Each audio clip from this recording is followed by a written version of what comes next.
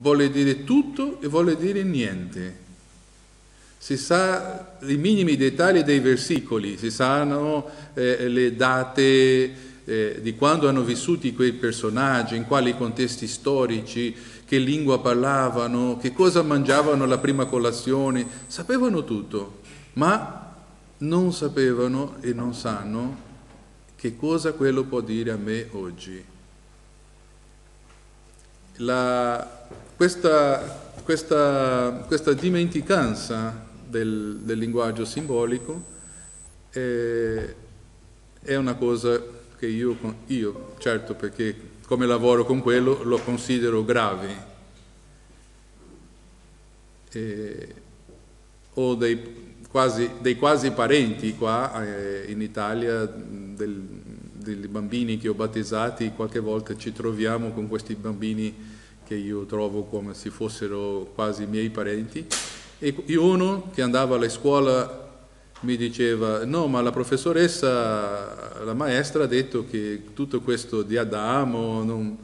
perché lui guardava un Adamo che avevo dipinto e lui, lui diceva ma questo, allora la, la, maestra ha detto che tutto questo è, bugia, tutto questo è falso, che non è esistito Adamo. E, e questo è un po' il risultato di questa nostra e questa è anche la causa per cui noi non sappiamo più, perché non parliamo più di queste cose, perché in un certo senso ci invergogniamo di, di, di parlare, perché sembra che stiamo parlando di cose che non sono vere. Eh, il linguaggio simbolico è più vero dell'altro. Mi spiegherò, aspetto se riesco a convincervi un po' di questo, eh, questo vi pot- potrà farvi un po' più felici eh, e anche mi farà felici perché la felicità quando, contagi- quando contagiata eh, diventa, diventa, più interessante. ciò che rispondevo al mio nipotino italiano era Adamo, magari quell'Adamo di cui parlava la sua professoressa non è mai esistito, ma Adamo esisti sempre, esistirà sempre. Adamo sei tu, Adamo sono io, Adamo... Ma questo non è una risposta superficiale, è una risposta perché colui che ha scritto quel testo pensava a se stesso, lui pensava all'uomo concreto, lui stava scrivendo non per ingannare qualcuno, lui stava scrivendo per aiutare a dare un senso. E quello, quello rispondevo a, al mio nipotino. Eh, la Bibbia non è un libro scritto, un libro di storia, un libro di scienza, è un libro che ci aiuta a capire il senso della vita, a capire il senso del mio esistere, a capire il senso mia, delle, dei miei atteggiamenti, delle mie scelte, mi insegna la sapienza. È un libro fatto per insegnare la sapienza. Ma come è scritto in linguaggio simbolico, se io non capisco il linguaggio simbolico, come la capisco? La capisco come un libro di storia. E quello è, è il, nostro, il, nostro, guaio eh, nel momento in cui noi viviamo. Siamo in una generazione molto critica, ma allo stesso tempo eh, ignorante eh, non è che io sono meno ignorante, io mi includo in questi e eh, stiamo riscoprendo. Nello stesso secolo XX che ha provocato questi guai eh, c'è stata anche una riscoperta del linguaggio simbolico, proprio con la psicologia del profondo, con, primo con Freud, ma dopo di lui altri che hanno portato molto più avanti la tematica del linguaggio simbolico come Jung e altri, eh, anche gli artisti come Salvador Dalí, Picasso e altri hanno riscoperto la forza del simbolo. E poco a poco il linguaggio simbolico stato, sta, sta essendo ricoverato, come di solito succede prima il mondo e dopo la Chiesa. Il mondo, in un certo senso, ha recuperato il linguaggio simbolico, ma per se stesso, nel senso come un strumento per farci mangiare la pasta che il mondo vuole che noi mangiamo, fare, perché tutta la pubblicità è, la buona pubblicità è fatta con il linguaggio simbolico, proprio eh, mirato no? a, loro scelgono anche il momento in cui il bambino sta mangiando per fare una pubblicità, perché quando noi mangiamo, nel processo di mangiare, io sono più vulnerabile a perché sto sentendo piacere e quindi quello che io vedo quando sto sentendo piacere eh, registra di più, più profondamente dentro di me. Per quelli monaci quando noi mangiamo sentiamo una lettura, perché quello entra, è associato al piacere di mangiare e il contenuto che, che entra.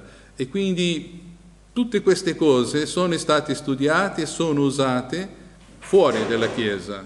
E dentro della Chiesa noi di solito trattiamo di rendere il più noioso possibile eh, la trasmissione del nostro contenuto. No? Lo facciamo della forma più noiosa, più brutta, eh, proprio perché abbiamo dimenticato questa, la magia, la, il fascino, la forza del, del simbolo. E se noi riusciamo a fare qualcosa di aiutarvi a, a riscoprire questo, per, a riscoprire il linguaggio simbolico esiste sempre. Un tempo, nel primo millennio, il linguaggio simbolico era il linguaggio che le persone parlavano. Dopo, verso 1200, 1300, 1400, eh, questo linguaggio simbolico comincia a essere considerato poco scientifico eh, e il colpo finale sarà l'illuminismo 1700 in cui diranno no, tutto questo è pura alienazione, tutto questo è, sono scemessi, oscurantismo e tutto il linguaggio simbolico che è indistruttibile, diventa un fiume sotterraneo e continuerà fino a oggi, fino a, al secolo XX che si riscopre, senza il linguaggio simbolico Harry Potter non sarebbe niente, no? Ma Harry Potter è puro linguaggio simbolico e per quello già ho visto tantissime volte tutta la serie, tutta la serie l'ho visto più di una volta, perché mi piace eh, e perché ripetere il linguaggio simbolico è anche eh, un, un, buon esercizio. Noi abbiamo, abbiamo organizzato il nostro corso che in queste prime lezioni noi faremo una introduzione al linguaggio simbolico, alla riscoperta del linguaggio simbolico. Ci sono parecchie persone che so, si sono dedicate a studiare il linguaggio simbolico non lo hanno inventato loro, il linguaggio simbolico esiste per sé, è umano. E, e grazie a Dio grandi personaggi hanno, hanno, sviluppato, hanno ricercato e hanno cercato di eh, renderlo comprensibile a noi. E quindi noi, ci, ci, noi useremo gli studi di queste persone per La prima, la prima distinzione che noi possiamo fare sarebbe quella di distinguere o di spiegare che cosa un, che cosa è un simbolo. Di solito nei corsi di filosofia, di psicologia, si parla molto di simbolo. Eh, io non vorrei complicare la vostra testa con esplicazioni troppo filosofiche, eh, ci appoggeremo un po' a Sant'Agostino, che il segno è una cosa che fa venire in mente qualcosa di diverso dall'immagine che viene immediatamente prodotta dai sensi. E quindi il simbolo non è ancora questo, il simbolo è un segno, ma prima per, per capire che cosa è un simbolo spieghiamo che cosa è un segno. Eh, I segni Penso che senza luce si può andare bene. Penso che si può andare bene così. Sì. Eh, quindi qualcosa che ci fa venire in mente qualcos'altro. Io leggevo un, un articolo su una rivista di archeologia che ci sono delle conchiglie preistoriche, dei, degli uomini preistorici di 350.000 anni 350.000 anni, sono i reperti archeologici più antichi, che sono delle conchiglie che sono state bucate eh, in, una, in, una, parte eh, e avevano delle incisioni a, a triangoli eh, precisi e sono state anche utilizzate per tagliare o per fare... Eh, e quindi conchiglie, queste conchiglie fanno l'antropologo che scriveva diceva questo vuole dire che l'uomo eh, comincia a diventare uomo quando lui com- comincia a fare un'astrazione che quella conchiglia è una conchiglia con una madre perla, con delle luci e aveva un, un buco per metterlo sul collo e quindi comincia a avere un, un senso di che una cosa rappresenta un'altra molto diversa, che una cosa, un oggetto, è segno di qualcos'altro. E quindi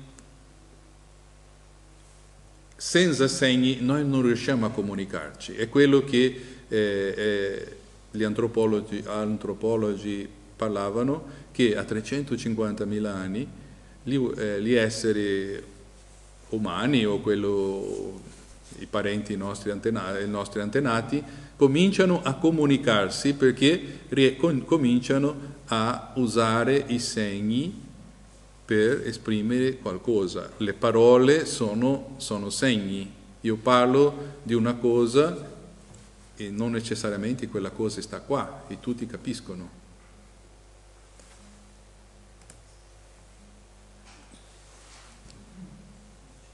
Ci sono segni conversionali, per esempio come un cellulare che suona nel, nel silenzioso. Non c'è nessun problema, potrebbe essere il mio, non vi preoccupate.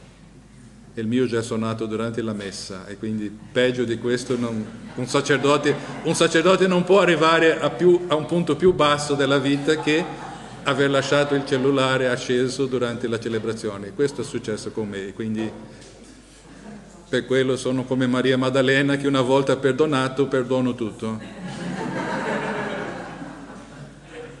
Eh, I segni convenzionali, vedete, questi segni sono segni che tutti noi qua presenti riusciamo a capire. C'è qualche segno che voi non capite qua? No, sono tutti molto comprensibili ma c'è uno che è un segno che rappresenta qualcosa già passata. Qual è? Che, che, che dà la data di questa diapositiva. Bluetooth ancora, ancora si usa. 3G. Il 3G è oltrepassato. Adesso quando, quando, il telefonino mostra 3G, sa, oh no, non abbiamo buona connessione. Ma prima 3G era il massimo, no? Adesso è 4G. Eh, e quindi anche questo, eh, gra- grazie a questo, questo, questo, tipo di cosa i biblisti eh, sono riusciti a capire tanto dei testi biblici proprio per i riferimenti storici solo che il nostro, nostro tempo ha, ha, ha, molto di più. Ma i segni, come vedete, sono segni convenzionali.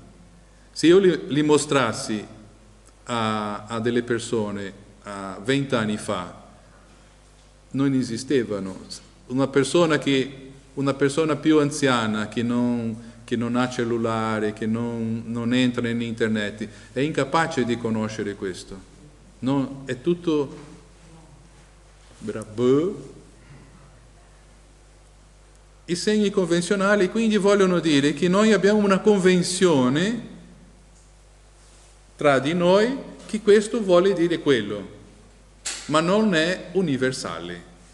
è particolare e temporaneo. Invece ci sono segni naturali. I segni naturali sono, la caratteristica sarà sempre che sono universali. Uno di qualsiasi tempo, di qualsiasi cultura può capirlo. E quindi se l'acqua di un lago, di un stagno si muove, noi sappiamo che qualcosa è caduta in acqua. Noi non vediamo che cosa è caduta, ma eh, capiamo i suoi, eh, i suoi movimenti.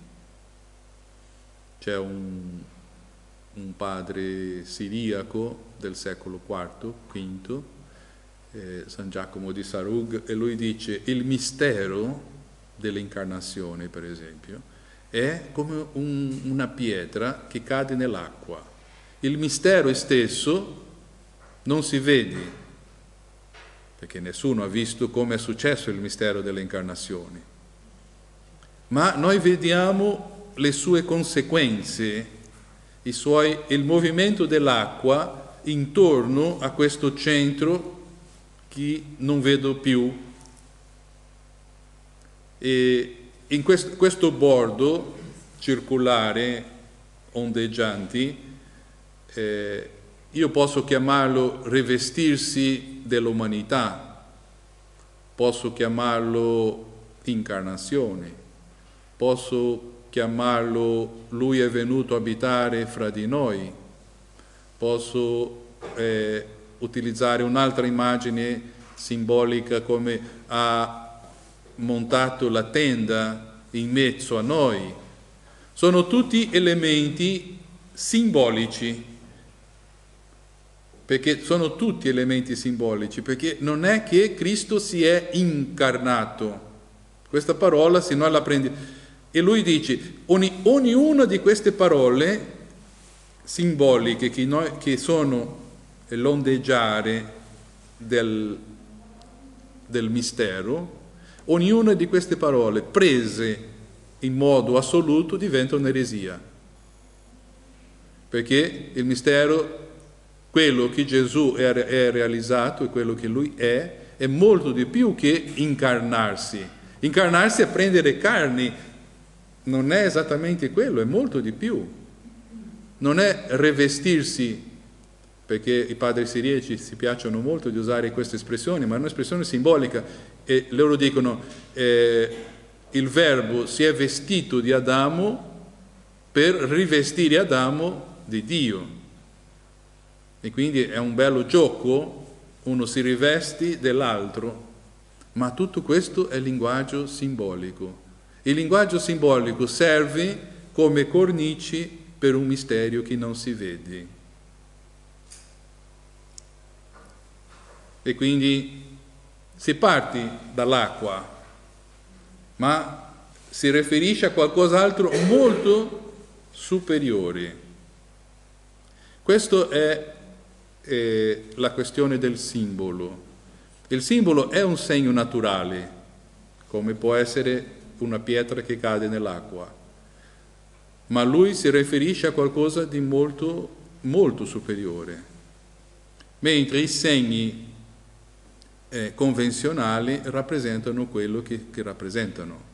Se c'è il segno di Bluetooth vuole dire che qui c'è il Bluetooth, niente di più di quello. Se io vedo le orme di una persona sulla sabbia, che cosa io posso capire subito? È passata una persona qua, è passata una persona poco tempo fa, io posso dire quando è passata, posso dire se era una persona che stava camminando o se stava correndo, se aveva un cane con sé, eh, posso pensare anche se è una persona grassa o una persona più magra, posso pensare se è, una se è un uomo o se è una donna. Tante, tanti elementi da una orma.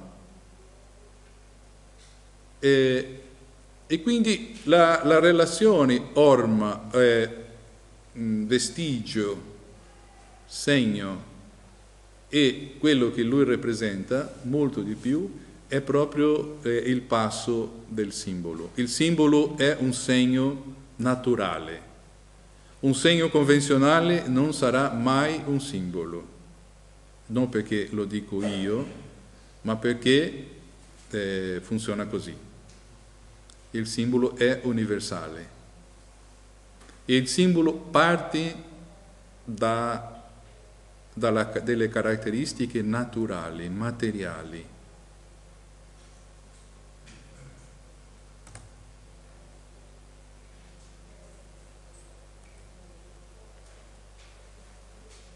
Il simbolo dobbiamo pensarlo sempre come un movimento. Simbolen vuole dire mettere insieme due cose diverse, come abbiamo appena fatto. Io vedo le orme e metto insieme la mia immagine di una persona. Magari dopo, quando vedo la persona, non corrisponde all'immagine che avevo pensato, ma è una persona, non sarà un osso non sarà un leone, sarà una persona. Eh, mettere insieme sin bolen. Eh, e quindi il linguaggio, il linguaggio simbolico sarà sempre un linguaggio dinamico e la forza del simbolo sarà sempre una forza di simbolo movimentata. Si può parlare sempre di un movimento simbolico l'immagine che Giacomo di Sarug usava 1500 anni fa, come voi avete potuto percepire, è movimento. Perché lui usa l'immagine della pietra e noi continuiamo a vedere queste, questi cerchi che si aprono con delle immagini e questa acqua ondeggiante e quindi continua nella nostra testa il movimento eh, che si amplia ma che mantiene il suo centro.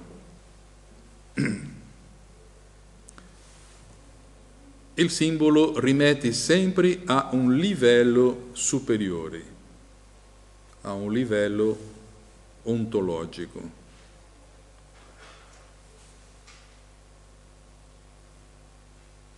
E quindi non mi dite, non ho capito tutto rispetto a questo simbolo, che io vi risponderò, è normale. Noi non eh, non finiremo mai di esaurire eh, la potenza simbolica di un, di, un simbolo, di un simbolo buono, di un simbolo forte. Come già potete immaginare, soprattutto quelli che si piacciono del greco, simbolein e il suo rovescio, quale sarebbe il contrario di simbolein? Diabolein. Diabolico è qualcosa che separa, simbolico è qualcosa che unisce. E quindi quando si parla di diavolo si parla di colui che separa.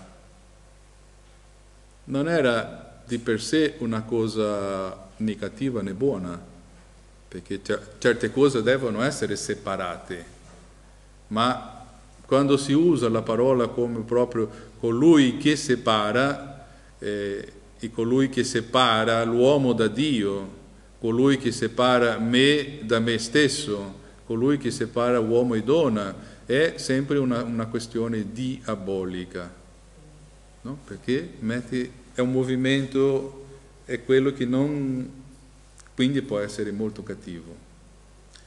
L'origine della parola, del vocabolo e del movimento, simbolo, viene da, dalla cultura, delle culture antiche che usavano il simbolo, il simbolo era anche un oggetto usato per un contratto tra due persone. Loro incidevano il testo o dei segni su una ceramica che dopo era cotta e la rompevano in due pezzi, ogni parte del, dei contrattanti aveva un pezzo eh, e quello serviva di, di simbolen, univa queste due persone in questo, in questo contratto. E quindi quando io potevo pagare eh, il mio debito o saldare, eh, io andavo con quel pezzo e l'altro, aveva l'altro pezzo e si faceva. Questo, questo succede nella Bibbia, nel libro di Tobia, perché il suo figlio, Tobit figlio, eh, va a ricevere, a, a, riprendere i soldi che il suo padre aveva in deposito con un parente, un, una banca, e lui non va in persona, lui dà il simbolo e, e quell'altro va e eh, riceve. Era una quantità, mi sembra 20 milioni di euro, dicono, la, era una quantità est- tremenda e che il padre aveva dimenticato di avere e stava morendo di fame. Eh, è una storia molto bella. Il simbolo, quindi la parte, la, la, le orme o il pezzo che io ho, richiama a qualcosa che io non vedo. Eh, e quindi il mio occhio completa quello che, che manca. E questo è straordinariamente positivo e, e stimolante per il cervello. completare quello che manca, eh, completare lo spazio eh, con la mia immaginazione, con il mio senso. Qui manca questa parte. mm, il nostro cervello non si piace di cose semplici. Quando noi cerchiamo di rendere tutto semplice ai nostri figli, alle persone, che cosa noi facciamo? Noi li trattiamo da bambini, ma neanche i bambini sono contenti di essere trattati da bambini. Eh, le persone si piacciono, perché, no, non le persone, ma il nostro cervello si piace di risolvere i problemi e quindi gli indovinelli, le cose, eh, le cose che stimolano il gioco di parole, il gioco, quella, quelle cose stimolano perché il cervello si piace di risolvere i problemi. Noi paghiamo per risolvere i problemi, no? acquistiamo le parole incrociate, eh, noi andiamo a acquistare problemi da risolvere, perché il nostro cervello ha un bisogno continuo di fare questo esercizio, questa, questa palestra eh, interiore di mettere insieme le cose. Quando le cose sono troppo esplicite, troppo scontate, viene la noia, perché il cervello, il cervello dice, qui non c'è niente da risolvere, tutto era già risolto. È un po', è un po quella la questione della Bibbia un po' è quello, perché sì, l'ascolto tutto, tutti i giorni nella, nella messa, perché, perché, non c'è più niente da, da scoprire lì, perché è già tutto spiegato. No, e invece, invece è tutto da, tutto da mettere insieme. Quando noi riusciamo a mettere insieme due cose, eh, sentiamo un grande piacere interiore. Il nostro cervello ci ricompensa, ma non solo, è una sensazione di pienezza. Quando finalmente riusciamo a, a fare una connessione di una cosa con l'altra, eh, di un testo biblico dell'Antico Testamento con un testo biblico del Nuovo Testamento, una immagine conosciuta con una immagine eh, nuova. Quando noi facciamo, per esempio, mettiamo insieme un libro che stiamo leggendo con qualcosa che la mia nonna già mi raccontava. Io metto insieme. Ho detto, ma guarda, la mia nonna diceva esattamente quello. E questo fa un... Il nostro cervello funziona a base di, di quello che i neurologi chiamano sinassi. Io faccio una sinassi quando re, faccio una relazione tra una cosa e l'altra. E quindi è un modo di imparare.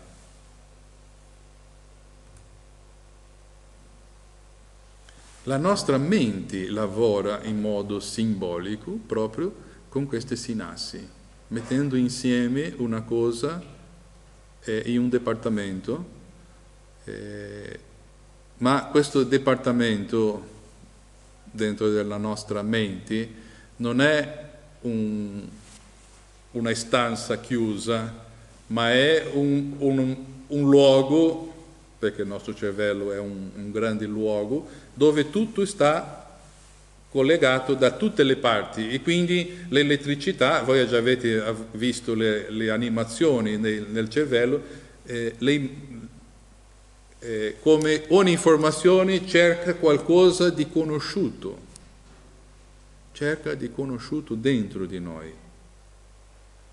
E qui cominciamo a entrare nel, nella questione del simbolo Già i filosofi presocratici già, eh, già parlavano che noi, tutto quello che noi conosciamo fuori di noi è perché già è dentro di noi. E quindi conoscere e riconoscere qualcosa che già è dentro di me da qualche esperienza che ho fatto prima. E quindi non c'è niente di nuovo che possa entrare nell'uomo. È una cosa strana, ma dicono che quando sono arrivati i primi eh, europei, almeno di quello che noi conosciamo, in America, i nativi americani non riuscivano a vedere le navi, non riuscivano a vedere le navi, perché le navi, così grandi per loro, eh, loro non avevano mai visto una nave e non potevano neanche immaginare una nave, perché il, i nativi americani non erano navigatori, per loro il mare avevano tanta terra che non avevano bisogno.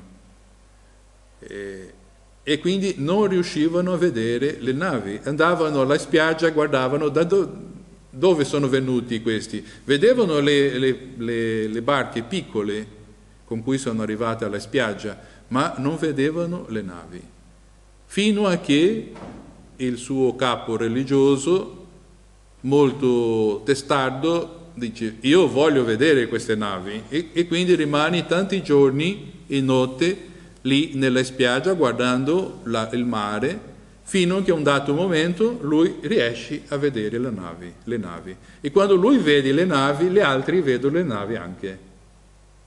Voi mi guardate, sembra ridicolo, non è ridicolo. Perché quando vediamo una cosa che noi non abbiamo mai visto, se il nostro cervello non ha le, quelle immagini per inquadrare quello che noi stiamo vedendo, noi non li vediamo. Noi non li vediamo. Per questo la gente dice, ma i bambini parlano con gli angeli. Senz'altro che parlano, perché loro li vedono. Ma come noi non, abbiamo, non li abbiamo mai visti, non siamo incapaci di vederli e quindi passano davanti a noi e sono invisibili perché il nostro cervello non, non ha un registro con cui associare quello che eh, succede. Gli altri indigeni dell'Amazzonia, quindi quello più dall'interno ancora, con i, i primi contatti con i colonizzatori, gli antropologi, facevano delle fotografie degli e gli indigeni non riuscivano a vedere la foto. Gli mostravano le fotografie e loro dicevano noi non vediamo niente. Che cosa vedete? Vediamo un pezzo di carta con dei puntini. Perché è il cervello che dovrà essere educato, elaborato essendo, essendo europei, erano gli, gli europei o, o, quelli della civilizzazione, sono abituati a vedere immagini o dipinte o fotografie, quindi il cervello è abituato a identificare una foto, ma chi non ha mai visto non è capace. Tutto questo per capire che la nostra mente unisce, eh, unisce i, ehm, le informazioni. Il Vangelo di Luca parla esplicitamente che nelle traduzioni purtroppo sono poveri eh, e purtroppo sembra che diventano ogni volta più poveri, ma eh, quando Luca parla che la Vergine Maria conservava tutte queste cose meditandoli nel suo cuore, la parola meditando è simbolisa. Maria conservava tutte queste cose mettendo insieme nel suo cuore. Mettere insieme voleva dire che lei leggeva i testi, lei conosceva, ci sono delle tradizioni e anche degli studi biblici seri che garantiscono più o meno che la Vergine Maria conosceva i salmi di memoria, così come Gesù, così come gli Apostoli, perché gli antichi conoscevano tutto di memoria, soprattutto gli antichi che erano pii. Eh, e quindi conoscere tante cose è interessante, ma è più interessante mettere in, rapporto le cose che noi conosciamo. Per quello eh, e questo eser- meditare sarebbe questo esercizio di mettere insieme. Mettere insieme che cosa? Mettere insieme la parola, ascoltata in quel momento, ma mettere insieme con gli eventi della, della vita di ciascuno di noi, quello che sta succedendo. E piano piano, piano piano il quadro comincia a, a illuminarsi. Se noi vediamo tutti i Vangeli sono un po' costruiti di questo modo. E questo è stato successo perché stava scritto che, ma non è che immediatamente quando succede il fatto l'Evangelista dice ah no, sarà nel prossimo anno quando ricordano quello che è successo, qualcuno nell'assemblea dice sì, ma questo è successo perché già il profeta aveva detto che il Messia doveva soffrire. Era un pezzettino, ma era quello pezzettino che sarà la chiave. Oppure i salmi che già parlavano di questo, o così. È un continuo mettere insieme. È il grande, è il grande lavoro della Vergine Maria, ma è il grande lavoro di ciascuno di noi. Se pensiamo che il compito di, della nostra vita è mettere insieme le cose più contraddittorie che possono avere in questa vita. I nostri genitori. I nostri genitori sono un paradosso. Non mi guardate così. Tutti i genitori sono, perché quando si tocca il tema genitori dice no, i miei genitori erano santi. Sì, santi e contraddittori, perché umani, e di solito Dio non mette mai due persone uguali una accanto all'altra, si ucciderebbero. No? Mettono persone diverse per creare contrasti, per, per crescere. Eh, e è il compito nostro, dei figli, di dentro di noi ricomporre eh, il mosaico eh, per, per, capire bene come uno completava l'altro, come uno eh, rispondeva a, agli stimoli di un modo, l'altro di un altro, perché alla fine vuole dire ricomporre la nostra persona. Noi siamo il simbolo dei nostri genitori, siamo 50% uno, 50% l'altro. E quindi non è un compito opzionale, o lo facciamo o lo soffriremo tutta la vita. Soffriremo di frammentazioni, soffriremo di conflitti interni eh, mai risolti e così via. Quindi comporre un mosaico, io ho usato l'immagine di un, di un, di un rompicapo, ma l'idea più precisa sarebbe proprio quella di un mosaico, perché il mosaico non viene con istruzioni, con un rompicapo così acquistato, se non metti quel pezzo nel punto giusto non funziona. Quel mosaico non funziona così. Quel mosaico eh, noi possiamo con i pezzettini realizzare quello che vogliamo. E quindi posso fare della, del mio mosaico, può essere una tragedia, può essere anche una commedia, e quelli sono i più divertenti, ma può essere una di un modo o di un altro può essere una bellezza, perché anche la tragedia è, è bella, anzi le tragedie rivelano il meglio di, delle persone. In un mosaico, chi già ha fatto un mosaico può capirmi, eh, in un mosaico i pezzettini, anche quei più eh, estranei, sono necessari. Di solito i più apprezzati sono quei quattradini proprio carini, perché riempiono bene e si, posso, si possono creare delle linee molto, molto belle. Ma quando si arriva in certi punti abbiamo bisogno di uno tutto storto. E è una grandissima soddisfazione quando quel pezzettino tutto storto che sembrava inutile entra perfettamente in quell'spazio spazio e dà è la ciliegina sulla torta. E quello ci fa capire, in questo mettere insieme, eh, che niente va sprecato, che nessuna memoria va sprecata. Questo è un tema dell'altro ieri. Gesù eh, ha detto, la mia missione è non perdere nessuno di quello che lui, che il Padre mi ha dato. E anche ciascuno di noi, mh, è questa un po' la nostra missione, non perdere niente. Eh, ma fare la fatica di mettere insieme.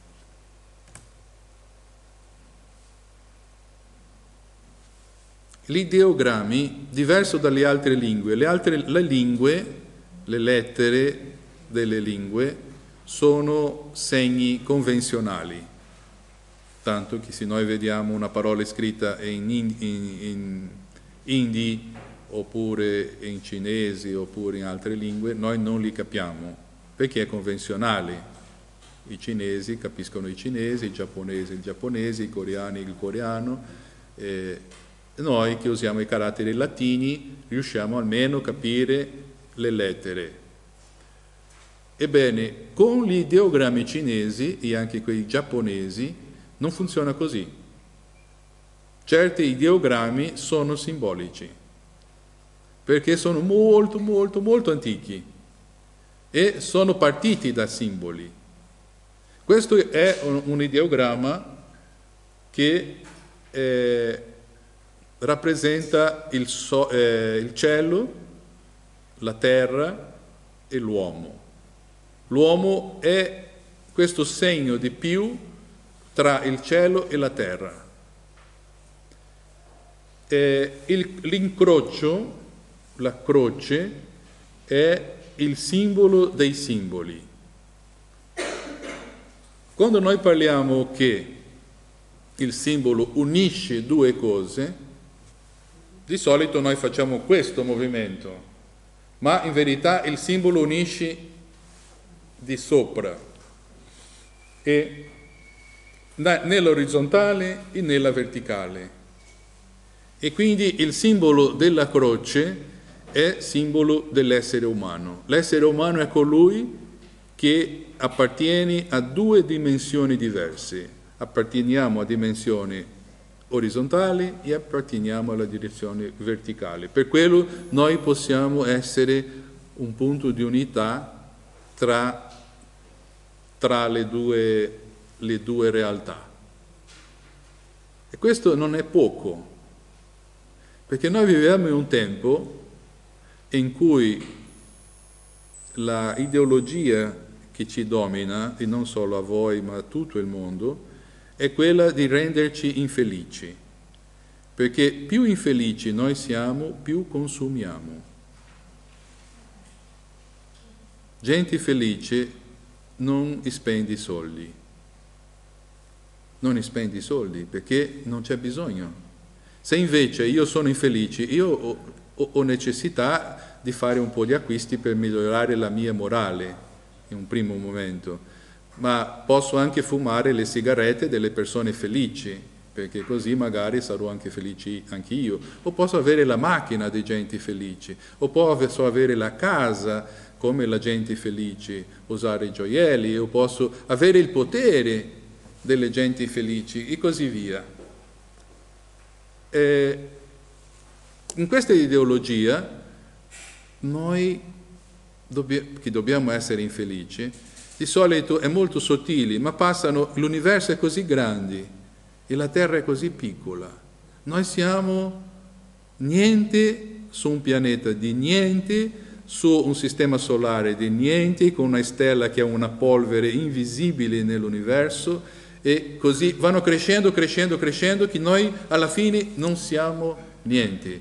Anzi, dal punto di vista ecologico o ecologistico, eh, sarebbe meglio per il, per il, pianeta se noi non esistessimo. No? Avete sentito già questi discorsi, no? Quando l'uomo sparirà del pianeta, sì, il pianeta sarà bello un'altra volta, ma santo cielo, dove, dove siamo arrivati? Dove, dove siamo arrivati? L'universo senza l'uomo non avrebbe senso. L'uomo nell'universo è colui che dà senso all'universo. Perché la pianta, la, il fiore è bello, ma lui non sa che è bello. È l'uomo, è l'uomo che dice il fiore è bello. È lui che dice il cielo è meraviglioso, è lui che dice le montagne sono superbe, è, è, è l'uomo, è la coscienza dell'universo. L'universo senza coscienza, e, questo i cinesi lo hanno capito, gli africani lo hanno capito, tutte le culture lo hanno capito, che l'uomo eh, non è il massimo, ma è necessario. La nostra missione è quella, essere un segno di più. Ho mostrato questo nella lezione quest'anno a una, una studentessa cinese e lei ha detto, questa è la parola re in, in cino. Questa è la parola re e è perfetto. È perfetto. Il re è colui che unisce il cielo e la terra.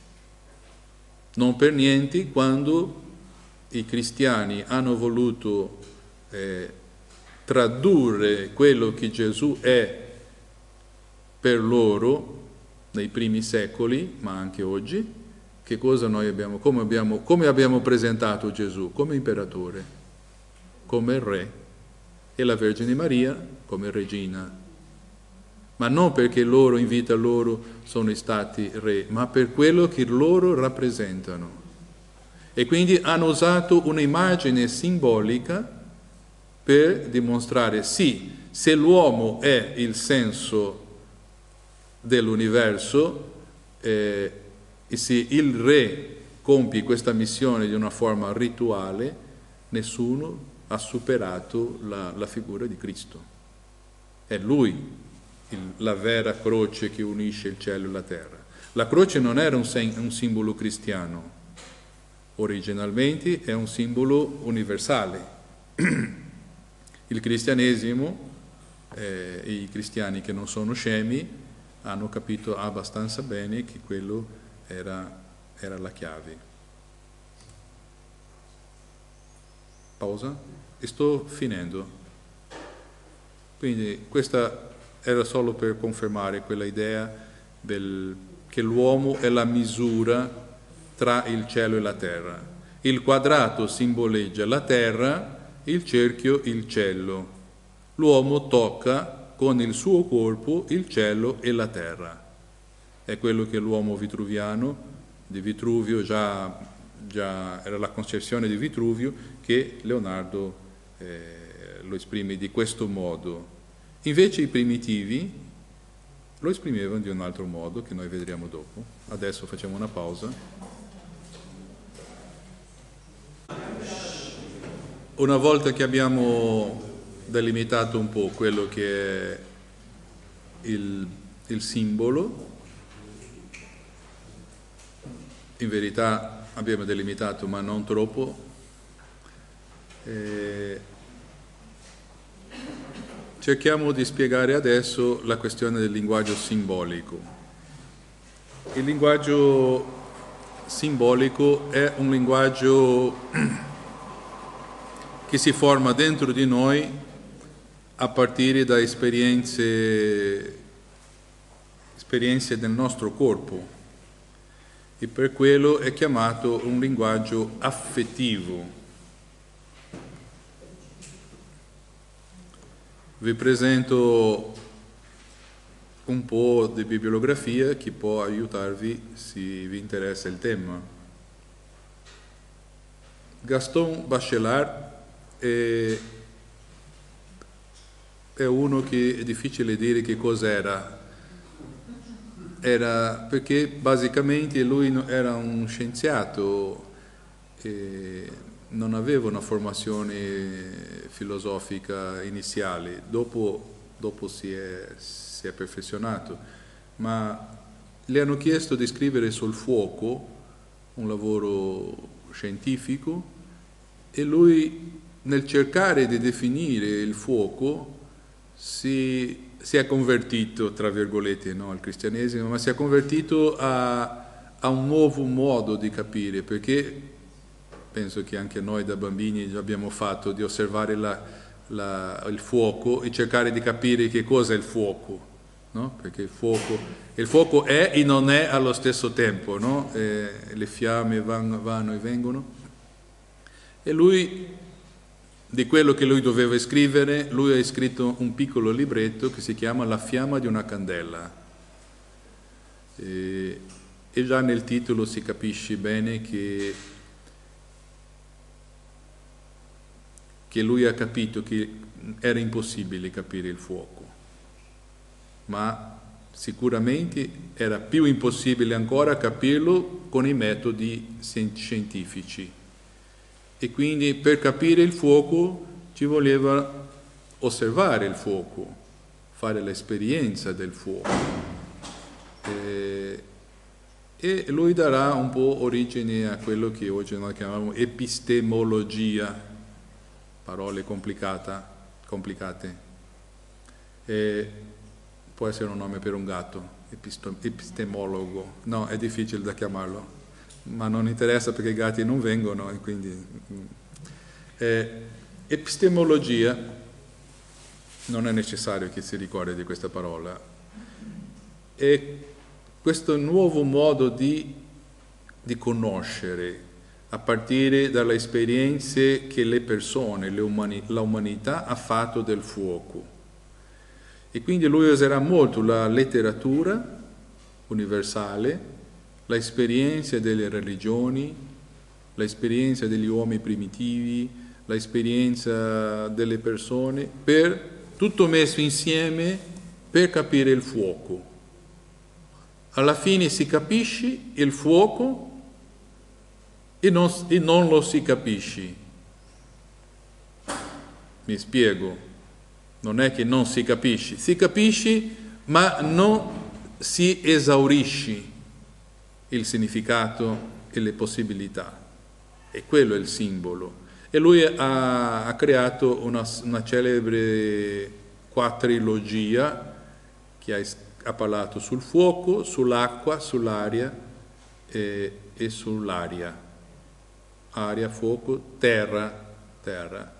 Ognuno di questi ha scritto dei bei, bei, libri che sono molto piacevoli da leggere, sono tradotti tutti in italiano.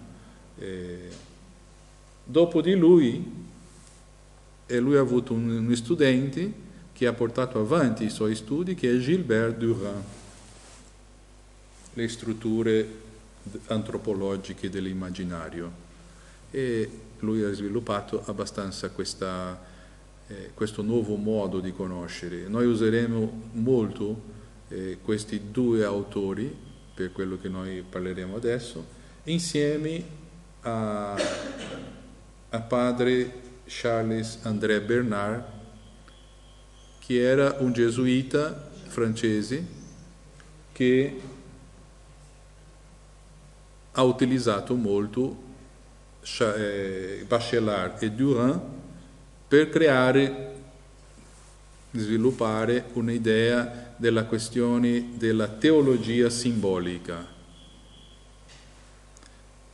perché Gaston Bachelard e Gilbert Durand non erano cattolici o cristiani come pensiamo noi, eh, come siamo noi, ma hanno dato degli strumenti.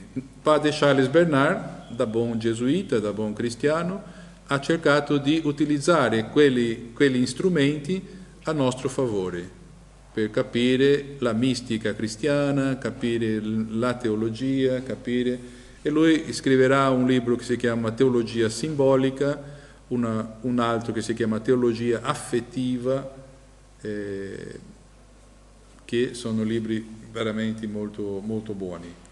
Qualcuno si prendete questo nome Charles André Bernard, eh, sull'internet c'è un'associazione degli amici di padre Charles Bernard, di cui faccio parte anch'io, perché lui era maestro della mia maestra. Io sono, studente, studente, sono stato studente e adesso amico di, di, Maria Giovanna Muzzi, che è stata discepola di padre Charles Bernard. E quindi io continuo, nella, lui è il mio nonno eh, in, questa, in questa strada e quindi quello che, sto, che, vi presento, che vi ho presentato già e che vi presento non sono idee mie, eh, la formattazione è brasiliana, ma diciamo il contenuto è, è un contenuto che viene da, da molto lontano e, e ha molto più, più, autorevolezza. Inoltre questo shampoo e, e Sterks sono, sono due autori ma gli autori di questa opera sono ancora più numerosi, sono più o meno sette o otto persone che hanno lavorato in questo libro che si chiama I simboli del Medioevo. Eh, il titolo è povero, il titolo non dice niente di quello che veramente è questo libro. È un libro straordinario che ci aiuta molto a capire tutta la questione della simbolica eh, nell'arte, sia sia dell'arte medievale sia dell'arte antica. È stato prodotto dai monaci benedettini francesi di un'abbazia che ha prodotto questo libro, che è un tesoro, è insuperabile, è stato sì, pubblicato nell'81, ma non c'è niente di, di simili dopo di lui. Quando noi parliamo di un, linguaggio simbolico, linguaggio affettivo, vuole, vuole dire che le esperienze che abbiamo fatto ci hanno affettato, ci affettano. Non vuole dire, perché di solito noi quando parliamo di affetto sembra una cosa positiva, una persona affettuosa, ma no, affetto è sempre tutto quello che mi, eh, che mi tocca di un modo, di un modo forte. Eh, questa è una foto che mi piace tanto, l'ho fatta tanti tanti anni fa, perché questo bambino già è un, un ventenne più o meno quasi. Eh, era la prima volta che lui era uscito di casa dopo che era nato e quindi era il suo primo contatto con il mondo.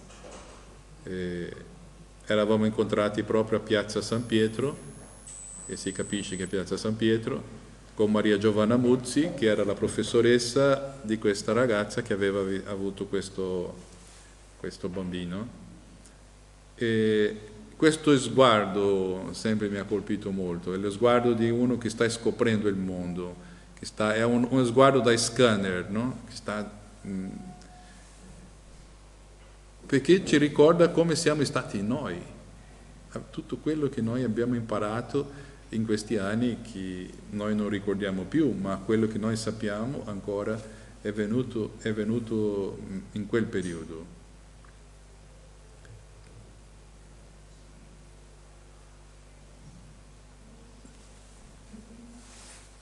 Padre Charles Bernard e i, i nostri autori dicono che noi abbiamo due fonti per creare il linguaggio simbolico dentro di noi. La prima è il nostro corpo, il nostro caro Michele, il piccolo Michele, che con il suo corpo conosce il mondo e nel suo corpo guarda la memoria di quello che lui conosce del mondo. E l'altra fonte è il cosmos, l'esperienza che noi facciamo con il cosmo. Sono queste due le sorgenti di materiali per la nostra eh, esperienza simbolica. Vediamo,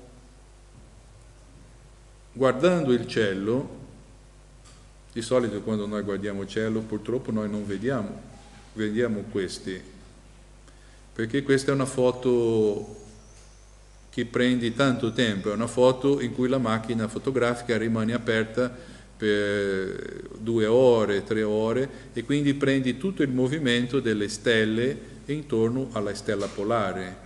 In mezzo si vede la stella polare e intorno tutte le altre stelle che stanno girando intorno. È questa la nostra esperienza del cielo. E questa esperienza, anche se noi, la nostra generazione non guarda più il cielo, ma rimane l'esperienza eh, fondamentale, perché noi portiamo la memoria dei nostri antenati dentro di noi e continuiamo nella cultura a dire, per esempio, che il sole è, nato, è, è, il sole è salito già, oppure il sole sorge, oppure noi diciamo il sole è tramontato, e questo non esiste, è la terra che sta girando, il sole rispetto alla terra sta fermo rispetto alla terra, il sole sta in movimento in altissima velocità verso la stella Vega, che tra qualche trilioni di milioni di anni si sbatteranno tra le due stelle, perché si stanno attraendo, eh, ma in una grandissima velocità, ma grazie a Dio l'universo è così grande e noi non sentiamo. Ma rispetto alla Terra noi stiamo girando e questo girare provoca questo movimento. E quindi l'uomo fa, guardando il cielo, l'uomo fa parecchie esperienze che saranno fondamentali per noi eh, e che noi riprenderemo eh, piano piano. E quindi questo, questo, linguaggio corporeo si usa di queste due, due sorgenti, la sorgente di un cosmo organizzato, guardando le stelle che girano intorno alla stella polare, eh, l'uomo fa l'esperienza del, eh, dell'ordine, dell'ordine nel disordine, perché le stelle non sono simmetriche, ma non per quello non sono belle, sono bellissime. E quindi l'esperienza che l'uomo fa è che tutto è nel suo posto. Eh, l'esperienza che tutto ha un centro la stella polare è il centro del cielo e questo centro in cielo corrisponde perché una cosa possa girare ha bisogno di un punto fisso, ma non solo un punto fisso in cielo sopra, ma anche un punto fisso in terra. E quindi esiste, anche se non vedo, un asse invisibile che unisce il cielo e la terra e permette che il firmamento giri.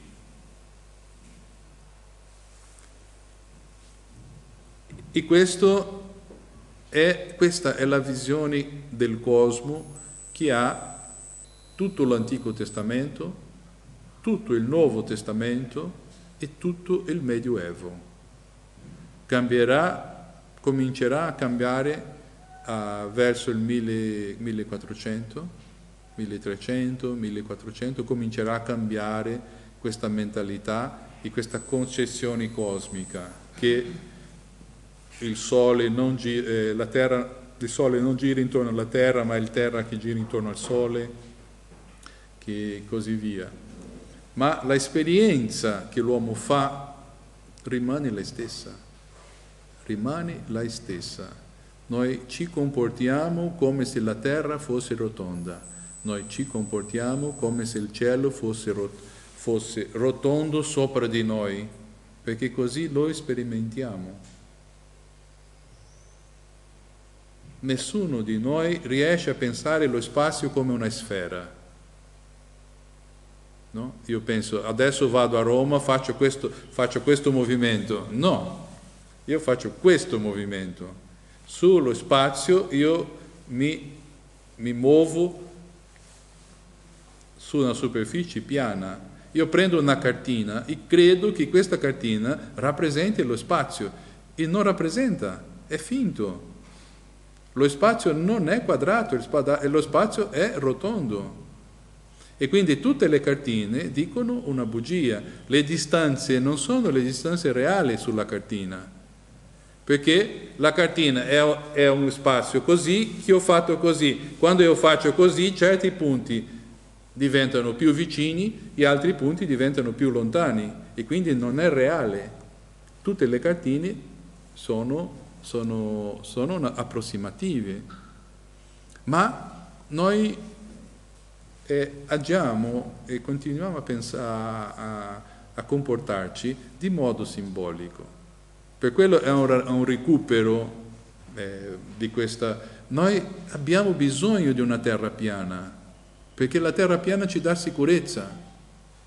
Se pensiamo che siamo sopra una sfera, già avete provato di camminare su una, una palla, eh, non è molto piacevole, non è stabile Inoltre c'è un altro dettaglio che anche ci sfugge e che noi no, preferiamo non pensare, è che noi non siamo sopra la sfera, può darsi che noi siamo sotto la sfera e quindi siamo capovolti, tutti capovolti, appesi sul, sul vuoto. Ma capite il bisogno che noi abbiamo di un firmamento che ci protegga da questo vuoto? la necessità che noi abbiamo che la terra sia quadrata, non esattamente quadrata, ma che sia quadrangolare. Essere quadrangolare vuole dire avere un davanti, un dietro, un destra e sinistra, nord, sud, l'est, ovest. Perché senza queste direttive io non riesco a muovermi nello spazio. Saranno queste, saranno le coordinate che mi permettono di dire ah ma questo è più al nord, è più al sud, eh, altrimenti in una città, in uno spazio non riesco a muovermi. E quindi tutte queste cose scientifiche noi le teniamo da una parte, ma tutte le altre cose noi agiamo come gli uomini medievali ancora.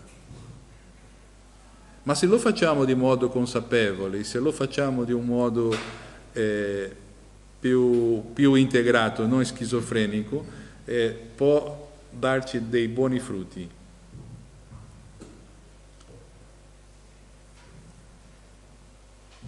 Le fonti cosmiche, le fonti corporali, le fonti corporali possono essere a livello sociale e a livello interpersonale. L'affettività simbolica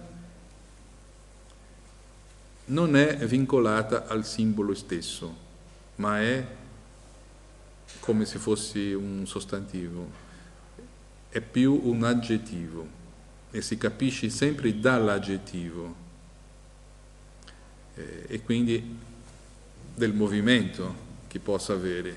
Per quello i, i dizionari di simboli non ci aiutano molto. Gli avete consultato un dizionario di simboli? aiutano fino a un certo punto, ma se il simbolo non è nel suo contesto, no, no, non serve poco, serve poco. Perché non è la stessa cosa, uno può dire, ma che cosa simboleggia l'acqua? Dipende. L'acqua può simboleggiare vita, può simboleggiare la morte. Dipende. Che cosa, che cosa definirà che cosa simboleggia l'acqua? I suoi aggettivi.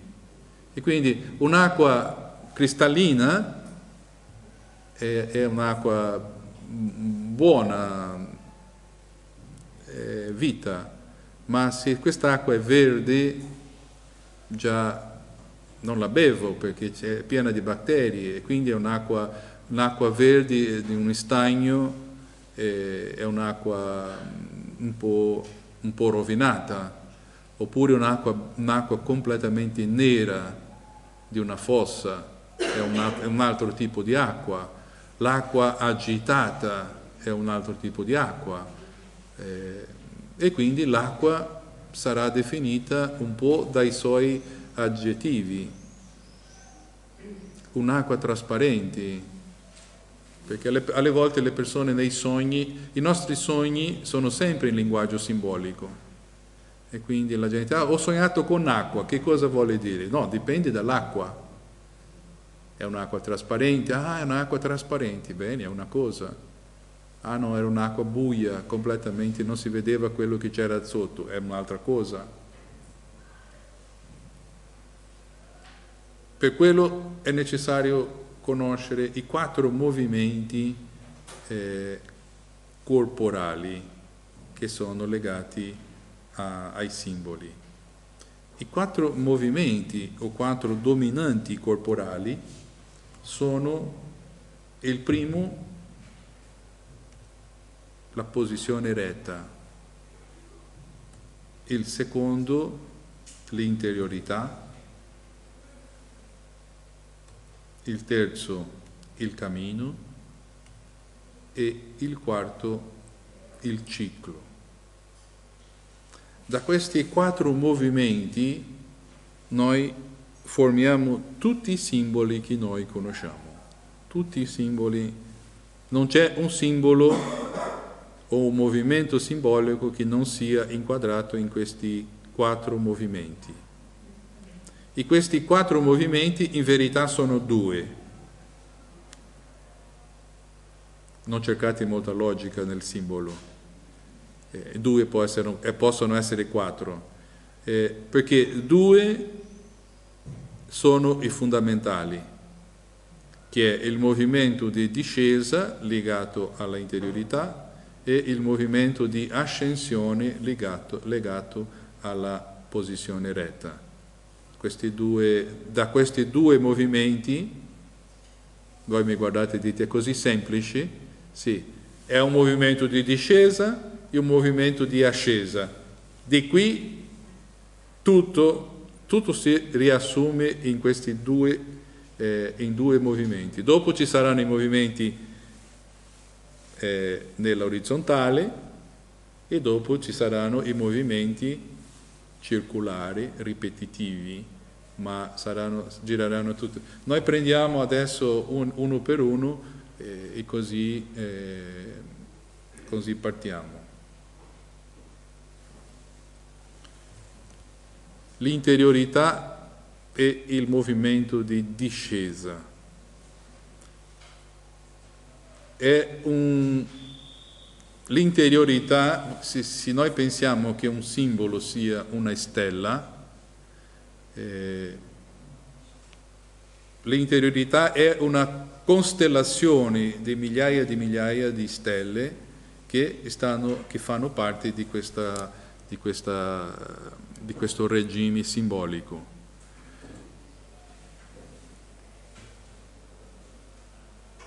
Discendere è mm, un riposo. Se noi pensiamo per esempio una piuma che cade, una piuma che cade è un movimento profondamente rilassante, no? perché cade, eh, cade, di un modo, è molto diverso che una palla di piombo che cade, quello non è molto riposante quello fa parte di un'altra costellazione simbolica. E noi usiamo con frequenza la parola, quando noi parliamo che la notte è venuta, noi diciamo la notte è discesa, è discesa la notte. Quando noi diciamo che la notte è discesa vuole dire che la notte è venuta piano piano e ha, ha, ha riempito la terra. Di che cosa? Di riposo. Se io voglio dire che la nota alla notte è venuta subito, di un modo violento, dico la notte è caduta, è caduta su di me. La, la discesa è molto legata a questa esperienza iniziale che abbiamo fatto. Penso che voi conoscete queste immagini. Sapete che cos'è? No. È un feto umano. È un, un piccolo feto che si sta sviluppando aggrappandosi alla parete dell'utero. Nella, eh, e quindi è l'uovo, fe, l'ovolo fecondato eh, già un po' sviluppato che è caduto, è disceso nell'utero materno.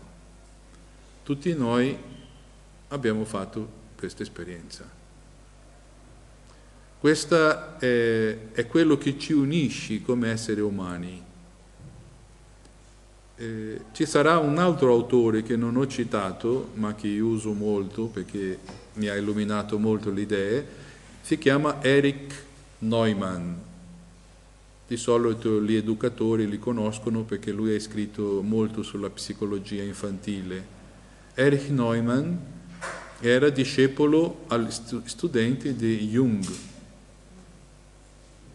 e, e ha studiato in profondità la, le origini della coscienza dell'uomo.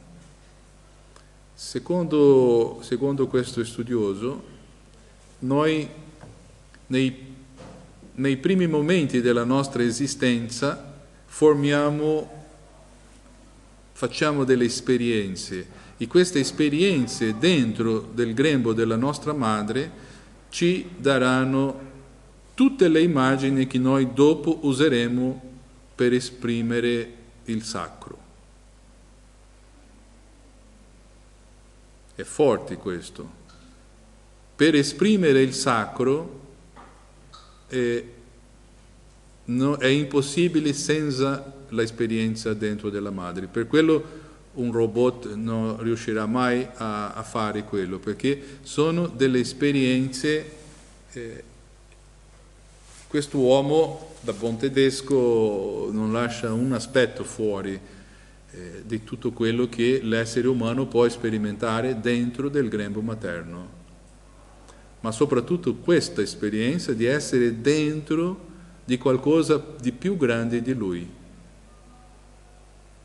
Non per niente noi siamo dentro dell'universo eh, e eh, un universo che noi non capiamo. Così anche noi siamo stati dentro di un universo che era il corpo della nostra madre eh, per nove mesi tutta l'idea della sfera, per esempio, noi siamo stati una sfera. Questo è un elemento, per quello diventare un po' rotondino è, è proprio della natura, non è un... Le persone magre mi, mi, mi scusino, ma diciamo, la, siamo, abbiamo cominciato la nostra esistenza come una sfera eh, perché già abbiamo visto le animazioni, è, è proprio così, l'uovo fecondato diventa una sfera perfetta e quella sfera perfetta rimane per tanti, adesso sappiamo tanti dettagli no, del processo iniziale della vita. Questo, questo ovolo, che, chiama, che, dopo si chiama ovo, uovo, rimane, rimane così per tanti, tanti giorni, di solito nelle animazioni veloci, ma eh, può, può, rimanere per tanti giorni fino a che cominciano a, a si moltiplicare geometricamente le cellule. E quindi questo stato sferico di unità interiore è la nostra origine. E questa unità interiore eh, rimane, questo desiderio di unità interiore rimane dentro di noi. E questa unità interiore, per esempio, nella mitologia, eh, c'è un sacco di cose scritte su di questo. E se pensiamo bene, quello che sembra essere la favola delle favole, che sono i, i racconti della Bibbia della creazione dell'uomo, funziona bene. Perché? Questa sfera non è né maschio né femmina. Non è maschio né femmina. E fino adesso non hanno scoperto come come la cosa si definisce, che cosa provoca che quella sfera diventi un bambino o una bambina. Per tanti giorni quella sfera è una sfera che non è separata, perché sesso viene di settare, separato. E quindi in origine siamo stati tutti noi, tutti, eh, un essere unico. Nella mitologia questo essere unico si chiama androgeno. L'androgeno. I rabbini nella tradizione ebraica chiamano Adamo androgeno, perché ci sono due racconti de, della creazione, il primo racconto, il primo capitolo e il secondo capitolo. Nel primo capitolo si dice che Dio ha creato prima Adamo. Ah no, nel, nel, primo dice che ha creato Adamo e Eva, nel secondo, che racconta che ha fatto primo il, il modellaggio, ha creato l'uomo. Ma questo uomo non è uomo maschio, è un uomo, è un uomo fatto di terra. Adamo vuole dire fatto di terra. E quindi in un primo momento Dio crea Adamo androgeno. In un secondo momento lui lo separa in due, creando l'uomo e la donna. Ci piace di più l'idea che era un maschio di cui lui ha tolto la femmina, ma eh, in origine non era esattamente, possi- le possibilità erano teologiche, sono molto grandi perché loro spiegano così. Di solito c'è sempre un bambino che chiede al rabbino, no? Rabbino, perché Dio ha creato tutti gli animali in paio, ma quando ha creato Adamo ha creato solo? E il rabbino risponde, perché Dio ha fatto l'uomo, l'essere umano, a sua immagine e somiglianza. Così come Dio è uno, l'uomo era uno. prima cosa. Seconda cosa, il partner dell'uomo sarebbe Dio. E quindi Dio aveva pensato un paio, ma il paio era lui. Dio aveva creato l'essere umano per sé. Questo pensiero mi provoca vertigini, no? E penso che se non provoca è proprio perché non abbiamo capito. Noi siamo stati pensati come il partner di Dio. Fantastico.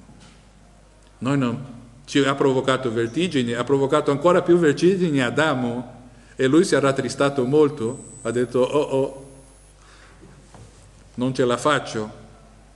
E quindi e Dio lo separa in due e accetta di che saranno l'uomo e la donna insieme il partner di Dio. Ma che il progetto originale era quello di essere una cosa sola, di essere una cosa sola. Per quello noi notiamo, Gesù seguiva questa, questa scia, no? che l'uomo formerà una sola carne. Eh, la, sono tutte esperienze che vengono dalla interiorità.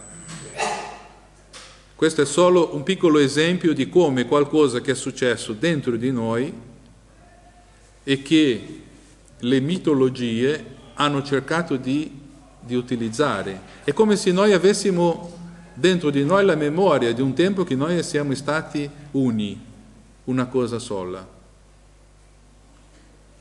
E questo viene di là.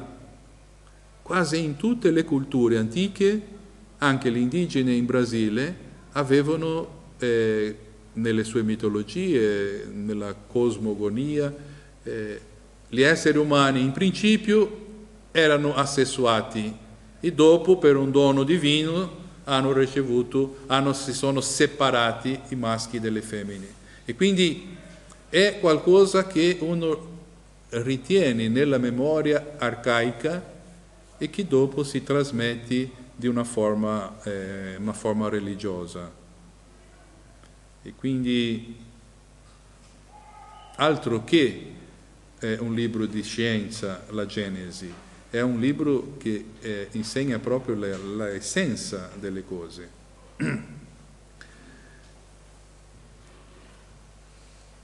Inoltre l'interiorità è legata quindi sempre al grembo materno e dentro del grembo materno, e possiamo dire che anche dopo, fuori, ma in rapporto sempre con la madre, è, è tutto il rapporto della, del nutrimento.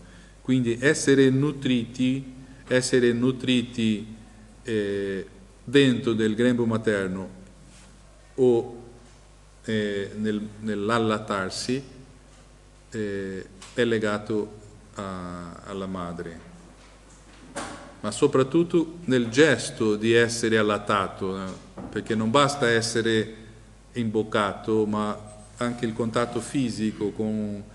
perché siamo stati allenati così per nove mesi. Per nove mesi siamo stati nutriti di che cosa? Dalla nostra madre.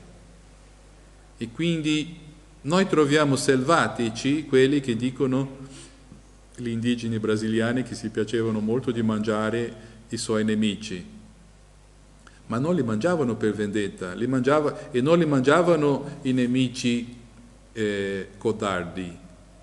Loro facevano guerre per prendere prigionieri, per dopo nelle cerimonie rituali mangiarli, ma prendevano solo i bravi, perché, era, perché volevano diventare bravi come loro. Quindi l'antropofagia non è semplicemente mangiare perché ho fame, ma aveva, aveva questo senso di partecipare alla natura di colui che si mangia. Questo ci sembra selvatico, lo abbiamo fatto per nove mesi. Per nove mesi ci siamo nutriti de, della nostra madre. Per nove mesi eh, quindi essere nel grembo voleva dire essere nutriti dal suo sangue, mangiare quello che lei mangiava, eh, essere formato dalla sua materia. Tutto questo ci ha dato la materia immaginaria per tutti i nostri rituali. Se pensiamo bene, Qual è il centro della nostra, della nostra celebrazione? Eucaristia. Chi è, chi è l'Eucaristia? È proprio mangiare il corpo del Signore. Per quale motivo noi mangiamo il corpo del Signore? Per diventare come Lui. È, è certo che spiegare questo ai bambini non è molto semplice. Eh, ma se noi lo capiamo, quando noi capiamo una cosa in profondità, noi riusciamo a spiegarle di modo semplice. Ma tutto questo perché noi abbiamo questo dentro di noi già, non è una cosa fuori, è dentro. La concessione, questa è un'immagine di un faraone che mamma un albero. Notate? L'albero è come una madre e lui ha la, la tetta e lui sta succhiando e allo stesso tempo prende il braccio della madre. Niente è, è casuale, perché il nutrirsi non è nutrirsi solo di cibo, è nutrirsi anche di affetto, è nutrirsi anche della, della bontà di questa terra madre che gli dà da mangiare. È un atto, un atto religioso. Penso che tutti noi abbiamo fatto questa esperienza, o no, di mangiare un frutto nell'albero, che penso che sia una delle gioie più grandi che si possa avere in questa vita, no? Trovare un ciliegio pieno e mangiarlo e magari non mangiarlo da solo, ma condividere con tutta la famiglia che mangia, eh, come gli uccellini che stanno mangiando anche le persone, guarda che bello, oppure le arance, oppure le mele, o eh, mangiare insieme da un albero che generosamente offre il suo, il suo frutto. Non per niente, in tutte le religioni, mangiare è un atto sacro le religioni primitive. le religioni tradizionali, non si mangia mai senza pregare, non si mangia mai perché, non perché per paura della divinità, ma per un senso di gratitudine verso questa terra madre che ci dà da mangiare. E quindi tutto quello che gira intorno al nutrimento è legato alla interiorità. Anche il rovescio, perché il grembo materno è un luogo bello, che dà tanto nutrimento, ma è un luogo pericoloso. Perché il grembo materno è nella stessa zona dell'apparato digestivo e quindi dal punto di vista simbolico è, pericolo, è pericoloso. E di lì escono tutte, tutta una gamma simbolica legata al sacro terribili. La dea devoratrice, la madre devoratrice, la madre che divora i suoi figli. Uscite, ta, sono tante le religioni primitive che hanno la dea della distruzione, la dea Kali è, è la più famosa e quindi la figura materna non è una figura solo carina, ma è anche una figura... E la dea, e la dea terra è molto brava, molto buona, ci dà buoni frutti, ma ci dà anche i vulcani, ci dà anche i terremoti ci dà anche eh, cose, cose spiacevoli, anche la distruzione. E quindi capite che solo con una, una costellazione noi abbiamo il fondamento di tanti altri, altri simboli. Entrare in una grotta sarà per l'uomo l'esperienza di tornare al grembo materno. Tornare al grembo materno per eh, ritrovare la salute, ritrovare la pace, ritrovare il senso, eh, trovare un riposo vero e proprio. Per quello le, gru- le grotte sono i primi luoghi di culto, i primi luoghi di, di almeno che noi troviamo, ci sono delle, delle caverne di più di 20.000 anni dipinte, dipinte con gli animali o... E quindi tutti i personaggi, San Benedetto lo farà lo stesso, ma Elia andranno in una grotta per... Dove, sta, dove stanno le sibille? nelle grotte. Dove è la strega? Nelle grotte. Dove abita il drago? Nelle grotte. La grotta sarà questo, questo grembo materno, eh, ma la terra sarà quella, nelle grotte saranno anche le, fontane, le, le sorgenti di acqua sulfurica che ha sebbene la salute, l'argilla che guarisce le malattie e quindi la terra è questa è questa madre che ha sì, questa ambivalenza. Anche simbolo della interiorità è la notte, quella notte tranquilla che scendi e ci dà la possibilità di riposare dopo una giornata dura e ci ri, è riparatrice. La costellazione della interiorità dà sempre questa possibilità di ripararsi, di rifarsi il sonno eh, ci ripara. I colori legati all'interiorità sono i colori caldi, i colori saturi. Perché? Perché sono i colori che noi abbiamo sperimentato nel grembo materno. Quando noi sentiamo questi colori, noi ci ricordiamo di quanto eravamo felici che non dovevamo alzarsi al mattino, che non dovevamo lavorare, che non dovevamo pagare le tasse, che semplicemente eravamo felici e non sapevamo. Sono i colori che il bambino non ha occhi per vedere le forme, ma avrà occhi per percepire i colori. Difatti l'occhio finisce di, di essere formato molto dopo che il bambino nasce, ma per questo voi sapete benissimo, meglio di me.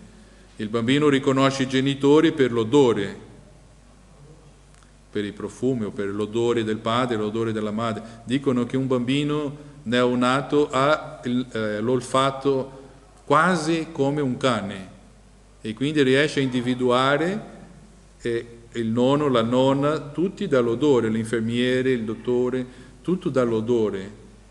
E per quello sorride, ma diciamo eh, l'occhio, l'occhio vede tutto un po' macchiato perché l'occhio non ha la forma ancora rotondina, perfetta per, per provocare le immagini, ma percepisce i colori.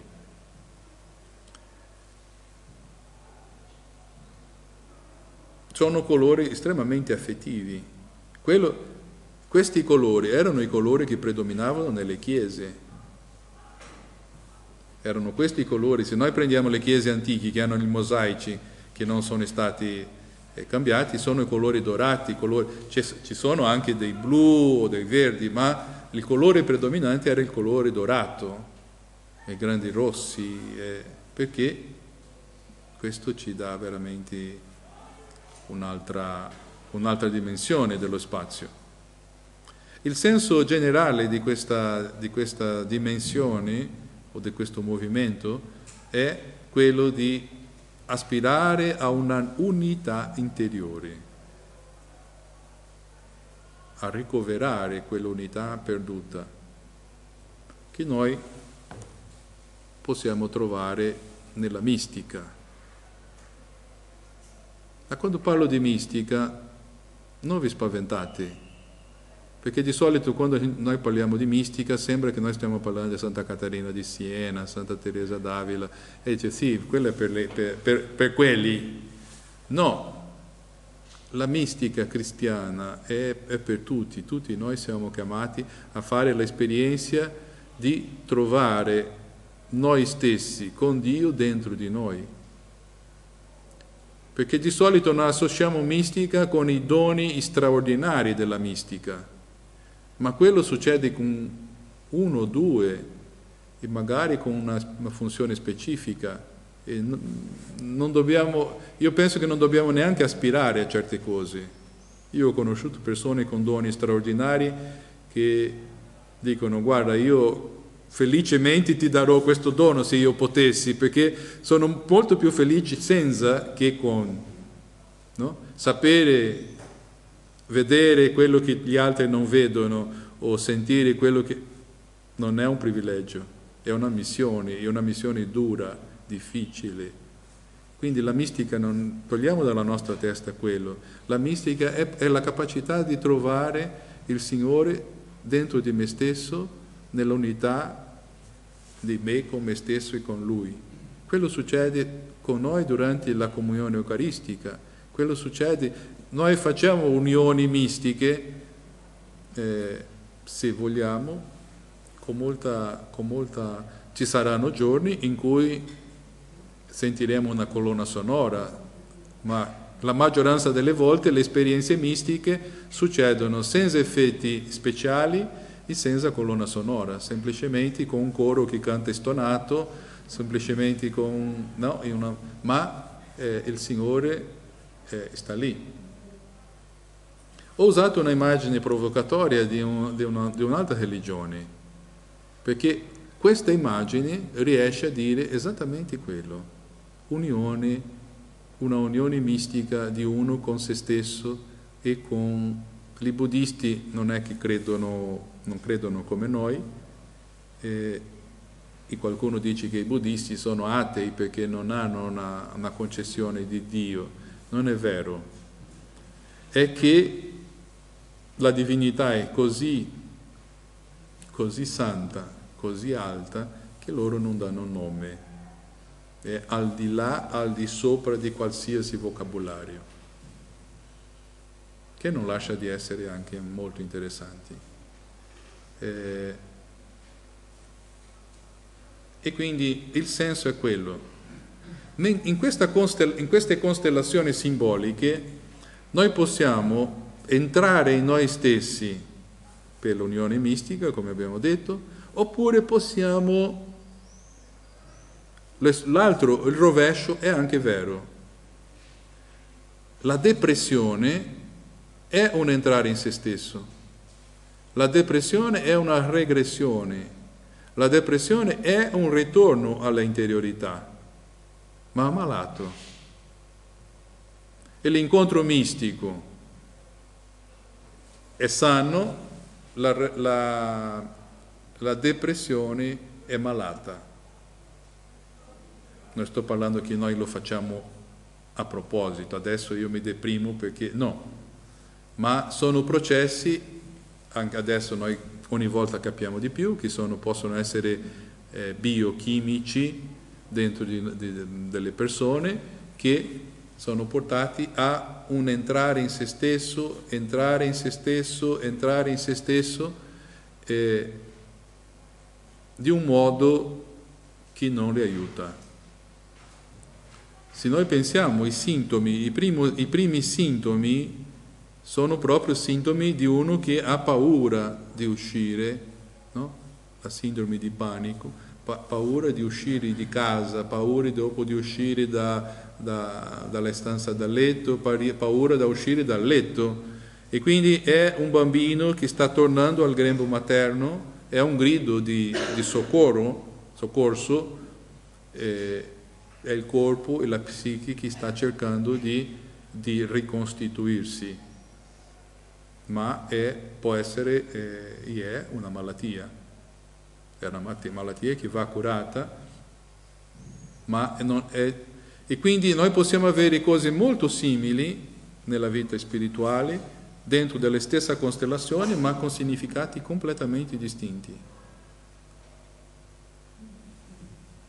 Il grande pericolo della, di, in questa costellazione, il pericolo risiede proprio nella perdita del senso delle azioni, della lotta, perché il grembo materno è molto confortevole, il grembo materno è protetto e quindi eh, come componenti è importante ma non può, non può essere preso, preso da solo.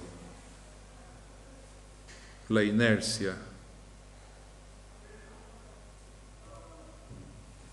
abbiamo bisogno dell'altra componente, sua, il suo opposto. Il suo opposto è la posizione retta, l'alzarsi. E l'altro componente, eh, così come il primo è molto femminile, il secondo è molto maschile. Uno è molto legato a, al riposo, alla rigenerazione, a, alla vita, nel suo crescere, nel suo nutrirsi. Stare in piedi vuole dire lottare, vuole dire eh, ricercare il cibo. È legato, come noi possiamo ricordare, alle prime esperienze che il bambino fa fuori dal grembo materno. Fuori dal grembo materno la grande festa sarà quando il bambino si alza da solo. Perché questo vuole dire tanto per la nostra razza umana. Perché un bambino che non si alza è una tragedia. Un bambino che non riesce a a avere la schiena vertebrale, le, i muscoli delle gambe sufficientemente forti per mantenere il suo peso e un cervello agilissimo per fare il continuo controllo del, dei pesi, che noi chiamiamo equilibrio, per mantenersi in piedi, eh, è una tragedia perché eh, avrà una vita molto limitata. Per quello noi facciamo tanta festa quando un bambino si alza, perché alzarsi vuole dire, anche dal punto di vista simbolico, passare dalla situazione degli animali che camminano con quattro zampe a camminare con due, con due zampe. E quindi è una conquista. L'alzarsi sarà sempre legato a, a una superazione. Il bambino, noi sappiamo, che per alzarsi deve allenarsi tanto perché i muscoli si rafforzino, le ossa si, si fortificano per rendere possibile. Se lui si alza molto presto, è forzato a alzarsi, può eh, avere dei problemi per tutta la vita, perché se i muscoli non sono pronti o la ossatura non è pronta, eh, può provocare un disastro. E quindi è un processo di elevazione. L'elevazione sta legata alla ricerca della luce, eh, perché tutto ciò che è buono è sopra. È la nostra esperienza da bambini, perché ci piaceva tanto andare in braccio ai nostri genitori, ai nonni? Perché le cose buone sono sopra, perché nascondono dai bambini tutte quelle cose che lui può toccare, scoprire, mangiare. Eh, sono tutto sopra il tavolo e lui è sotto il tavolo. L'unico modo di raggiungere le cose è salire e lui ha bisogno di essere alzato. E quindi l'altra esperienza che ci ha colpito sempre è quella di essere preso in braccio da qualcuno e alzato eh, in alto. Queste esperienze sono esperienze che possono essere state positive o negative.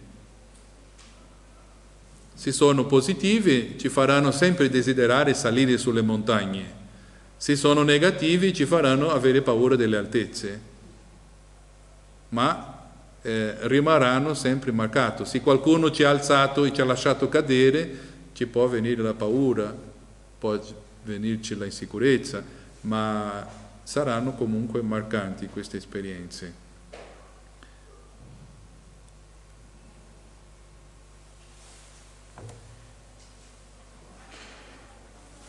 Le altezze o salire è molto legato a tutto un quadro anche morale, non moralistico, ma morale, nel senso che le cose buone eh, sono sopra. Quando noi parliamo che una persona è una persona eh, brava, è una persona di ideali alti, di alti ideali o possiamo dire una persona di basso profilo o di un alto profilo, eh, sono dei valori bassi o dei valori alti, ma possiamo parlare anche di rettitudini. Quando parliamo di rettitudini stiamo parlando di una linea verticale che mi fa guardare in alto e pensare questa è una persona, una persona retta. Avevamo dei giochi che insegnavano questo di modo simbolico Penso che anche voi avete avuto questi giochi di salire su un, un mastro con sopra si mettevano dei dolci o si mettevano dei soldi e dopo c'era questo mastro in cui si, de- si doveva salire, era una competizione, si metteva anche tanto grasso sul, su, su, per difficoltare ancora questa, questa salita. Solo i bravi riuscivano a, a raggiungere quello, quello, quello punto. Queste, queste, immagini vengono dal Giappone, figuriamoci come, come è universale questa, questa, questa concessione. L'esperienza della verticalità e del movimento verticale, dell'ascensione, è legata anche a quell'asse eh, invisibile che unisce il cielo e la terra, che noi chiamiamo axis mundi. Axis mundi, radice del mondo oppure asse del mondo. E quindi salire vuole dire arrivare in cielo.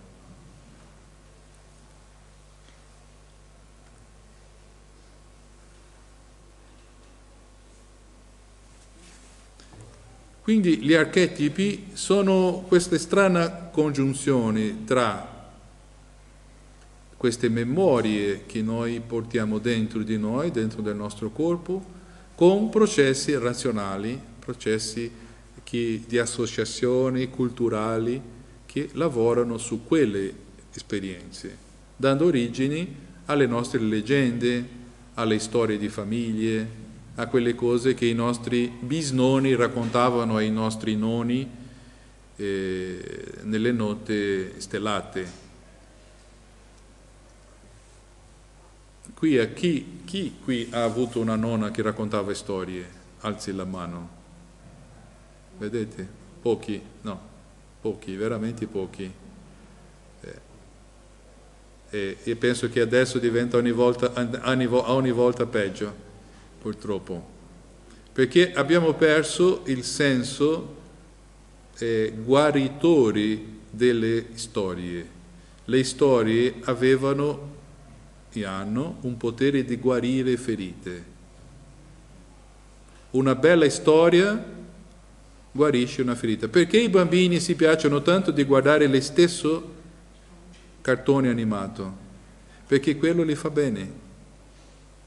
Loro non sanno dire perché, ma quello li fa bene, perché eh, la, il, il, brutto anatrocchio alla fine diventerà un, un cigno e, quella, e quello guarisce la ferita perché tutti i bambini si sentono inferiori in certo senso. Chi ha scritto quello lo ha scritto con proposito. I miti greci, adesso ci sono dei studi interessanti su questo, i miti greci che sono diventati dopo teatro, sono stati diventati scritti e dopo diventati teatri proprio per aiutare le persone a guarire le sue ferite a capire i suoi drammi, perché guardando all'esterno riescono a riconoscere i suoi drammi interni, ma riescono a capire molto di più che se fosse eh, da un striccia cervelli, no? di, qual- di qualcuno che eh, o li fa per ipnosi a scoprire i suoi problemi, perché i nostri problemi più grossi, pensate ai vostri problemi più grossi, quelli che non avete mai parlato a nessuno, non lo avete parlato mai a nessuno perché non ci sono parole per dirlo, perché sono esperienze così complesse, così complicate che non basta dire sono stato abusato, non dici tutto, non dici tutta, tutti i dettagli dell'esperienza, l'esperienza è molto più complessa. Tramite il simbolo è possibile, tramite la storia è possibile. Grazie a queste storie i nostri antenati si equilibravano con le sue emozioni perché implicavano sempre, perché tutte queste storie giravano sempre in, a, livello, a livello di queste costellazioni. Io mi ricordo di una storia che la mia, stiamo per finire, che la mia nonna, la mia madre raccontava a noi perché la sua madre raccontava a lei perché la sua madre aveva sentito di un'altra nonna, era di nonna in nonna fino ad arrivare a noi. La storia era una storia banale, ma che si ripeteva. Vi racconto e dopo prendiamo le nostre conclusioni. Lei diceva che questa antenata aveva ricevuto una visita a casa di una signora che aveva un bambino piccolo e avevano met- messo le cose al tavolo come si faceva della, per una merenda nel pomeriggio e questa donna mangiava, mangiava le cose, quelle cose e il bambino alzava la mano per prendere le torte, i biscotti e la madre non li dava. E alla fine la, la, la nonna ha detto alla donna, ma Tizia, dai, dai un pezzettino al bambino. E lei dice, no, no non, ti, non ti preoccupare, comadre, perché eh, esce, uscirà nel latte. Quello che mangio io uscirà per lui nel latte. Lei mangiava, mangiava, mangiava, ma al, al bambino niente. quello veramente ha, ha, ha, ha provocato un po' la, la, la nonna, nel senso. Ma la storia è stata conservata. Perché è stata conservata? Perché è vera. Perché è vera. Indietro a quella cosa un po' ridicola di una donna che eh, magari era troppo egoista e ha scelto una, una scusa o non sappiamo, quello che la madre dà dopo altri filosofi, io l'ho, conservata senza capire molto, l'ho conservata, ma dopo, quando ho cominciato a vedere queste cose, ho pensato, ma perché quattro generazioni hanno raccontato la stessa storia? È perché quello che una madre dà al suo figlio è il risultato da quello che, lui, che lei si nutrisce. Questo è ovvio dal punto di vista del latte materno, ma è ovvio anche per tutto l'altro. Quello che, questo, quello che i nostri genitori ci hanno dato è stato quello che loro hanno vissuto. Il latte che ci hanno dato è il latte di, della sua simbiosi, della sua, della, della sua sintesi e è quello che succede con ciascuno di noi. noi, noi ciò che noi facciamo è il risultato di tutto quello che noi vediamo, sentiamo, capiamo, proviamo.